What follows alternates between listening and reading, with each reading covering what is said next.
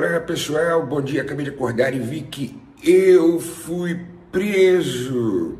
Isso é absurdo. Eu disse que o Eduardo Paz é tinha que ser preso. Mas vamos lá. Eu falei com várias pessoas no Rio de Janeiro que disseram que eu fui preso, mas não é verdade. Inclusive lá na Record, emissora do meu tio, tá dizendo eu fui apenas conduzido.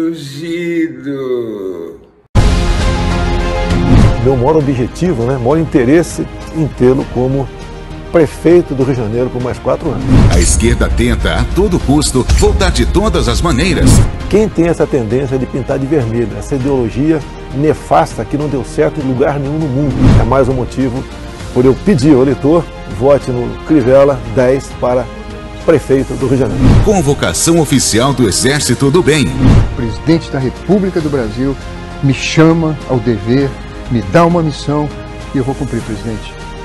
Obrigado. Deus está conosco. Amém. Deus está conosco. Amém. Você não pode perder. Dia 2 de novembro, às 8 da noite. Direto dos canais Marcelo Crivella.